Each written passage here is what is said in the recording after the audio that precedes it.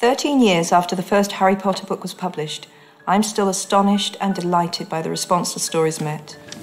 Even though the seventh book and the eighth film have now been completed, I'm still receiving hundreds of letters every week, and Harry's fans remain as enthusiastic and inventive as ever.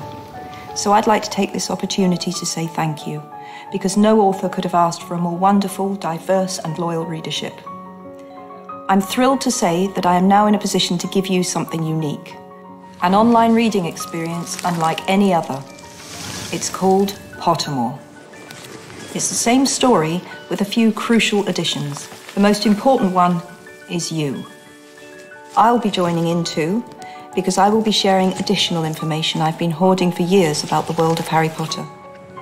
Pottermore is open for registration. I'll hope to see you soon.